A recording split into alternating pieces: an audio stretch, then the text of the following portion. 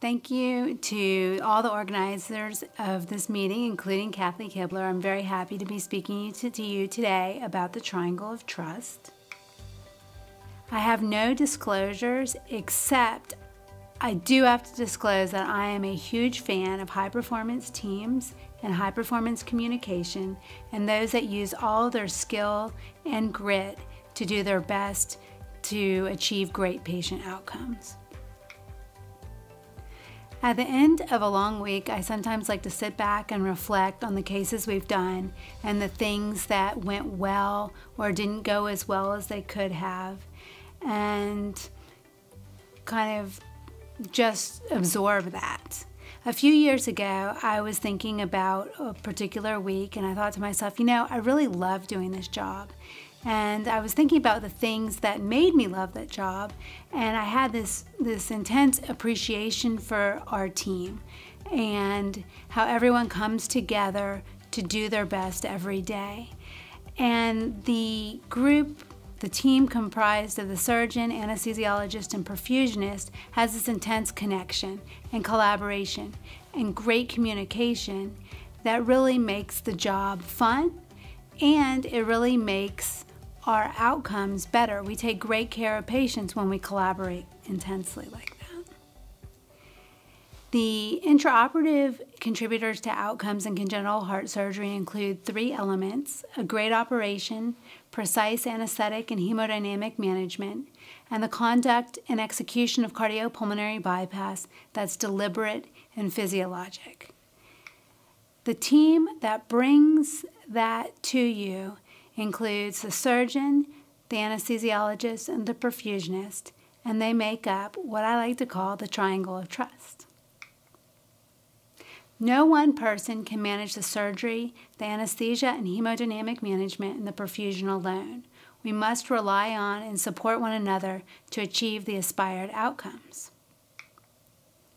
Today, we're going to explore three elements of the triangle of trust. They include collaboration, communication, the response to the unexpected, and then we'll look at some examples of the triangle in action. Collaboration involves the whole team working together with a common purpose, and that involves respect, shared standards, and trust. These are, this is respect for individuals and their contribution to the effort, respect for the team and the mission. This is critical. We also hold shared standards for all aspects of intraoperative care. That includes bypass management, blood product management, basic anesthetic management, and operative conduct. And everybody in the team has to know how we do it, and they have to live it and they have to breathe it. The third thing is trust, and that's really, really important. This has to be part of the culture, it's intentional, and everyone needs to know that everyone is there to provide excellent care for the patient and also to support the team. Planning is essential and it involves the whole group. Before a case, we need to know what the operative plan is, what the cannulation sites and cannula selection will be, what the anticipated depth of cooling, whether we'll need special bypass, bypass techniques like um, antegrade cerebral perfusion, deep hypothermic circulatory arrest, blood product management strategies, and whether we're going to plan for an early or delayed extubation. Now, for unusual or complex cases, this kind of planning may take place weeks in advance. We need to make sure that everybody on the team knows what the techniques we're going to use and make sure that that seems like a good idea. And this kind of preparation allows high performance in a new situation. Some examples of these kind of complex cases include an 800 gram baby undergoing an arterial switch operation, a 5 kilo baby undergoing an AV septal defect repair without the use of any blood products, or a patient with hemophilia A undergoing an arch augmentation. During cardiopulmonary bypass is when a lot of the collaboration happens. While we're on bypass, the perfusionist and the anesthesiologist are working together to optimize everything. Optimize flow, optimize pressure, optimize the NIRS, optimize the hematocrit, make sure that everything is going smoothly. And if things don't look so good, we try to adjust them and, and make things look good. If we need to involve the surgeon once appropriate steps are taken, we can do that and maybe we'll adjust things after that. As one perfusionist I know is fond of saying, I like to make it that the sur- so the surgeon forgets that we're on bypass. Communication is very important to high performance teams, and this is no exception. Communication can be disorganized and, and disorderly, or it can be concise and perfect. We want to make communication in the operating room less like a dog playing telephone and more like a fighter pilot flying in formation. Verbal communication should be clear, loud, scripted so that it's reproducible among teams, and a readback should be employed. The readback helps to confirm the accuracy and the receipt of the information. Communication is a lot easier in an environment that is quiet, controlled, organized, and preferably there should be line of sight between team members. The trust comes up again. People need to have the psychological safety to be able to speak up. They need to be comfortable to be able to raise concerns, and that's something that has to be fostered and grown. Now, another place that the triangle of trust really helps is in the response to the unexpected. This is the box, and I like to talk a lot about the box. And for me, the box includes three things it includes a surgical field, the physiologic monitors, and the bypass monitors. When you know what's supposed to be in the box, you can recognize when things start to deviate from the normal. When you can recognize the things that deviate, you can bring them back into the box before a situation gets to be unrecoverable or harm occurs. Some urgent intraoperative situations in which the triangle of trust and working well within this team helps to improve outcomes include a patient with Williams syndrome or arrest after induction of anesthesia, cardiac injury during sternotomy, or a thrombosed systemic to pulmonary artery shunt in the pre bypass period. These are all situations in which excellent collaboration, communication, and response optimize performance and patient outcome. Emergency cases are also handled a lot better within this framework. When the routine is indeed routine, it's easier to execute on the fly and that helps also to improve outcomes. Regular debriefings after cases or stressful situations and regular meetings are also critical.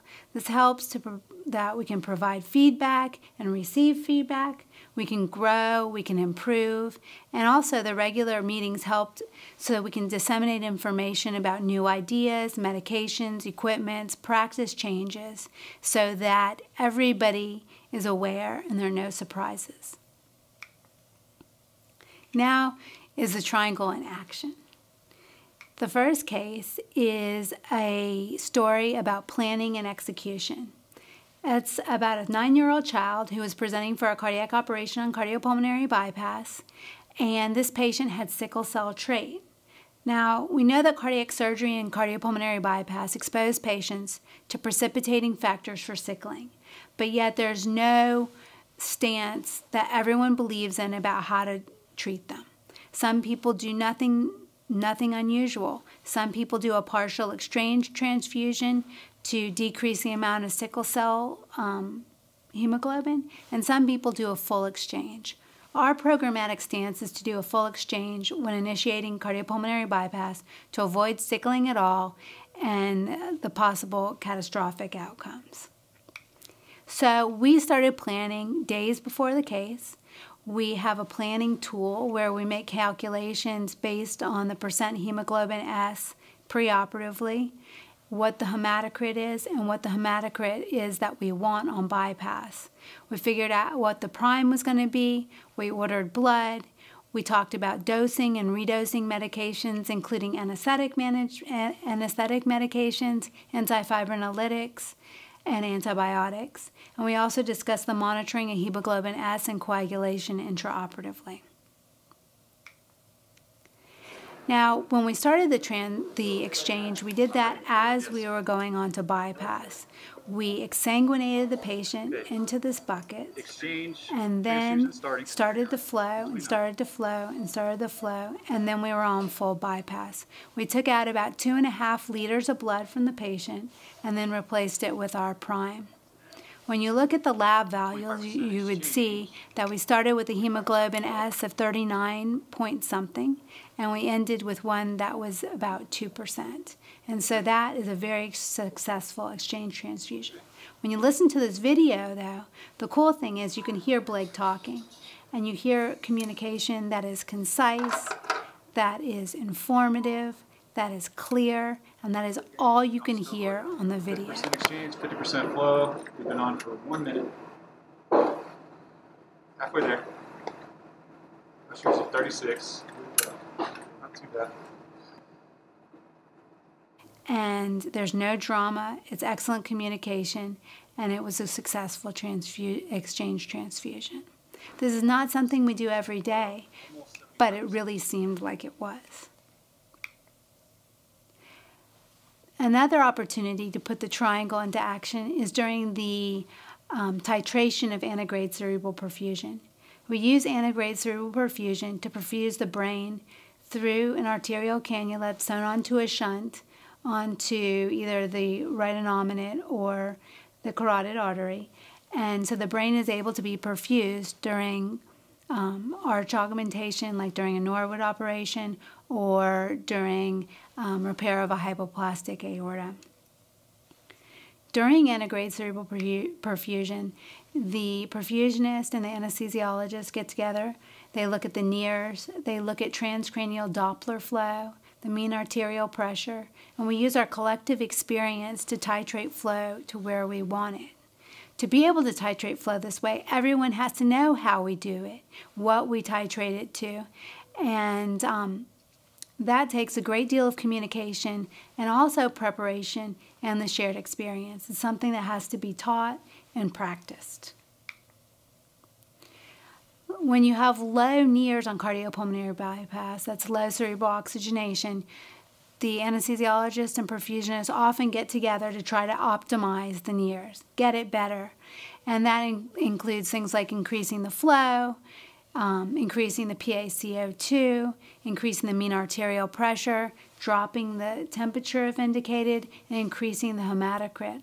All of these things are communicated to the surgeon, and if those things aren't working, sometimes you need to look at the SVC cannula and make sure drainage is okay, or the arterial cannula to make sure that, that it's um, well positioned. We all know that in many pediatric cardiac surgeries, we can do it without giving blood products. And when you do that, you're kind of stepping out of your comfort zone a little bit. And you have to have a shared way of doing it.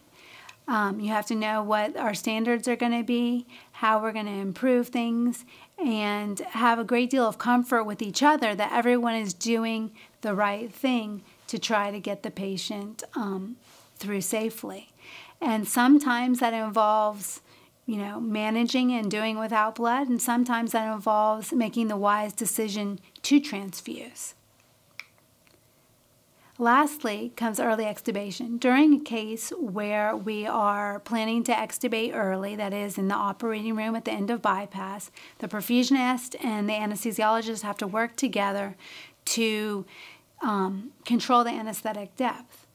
And um, Poor communication in this area can lead to some things that we don't want, like awareness under anesthesia, recall, or dangerous patient movement. And so that's something that really has to be worked out and checked on and, and a strategy developed for. I hope that I've been to, able to communicate to you what the triangle of trust means to me and my team. The triangle of trust that's comprised of the surgeon, anesthesiologist, and perfusionist, and how it contributes to improve patient safety and optimize patient outcomes. I thank you for your time and attention, and again, I thank the organizers for having me.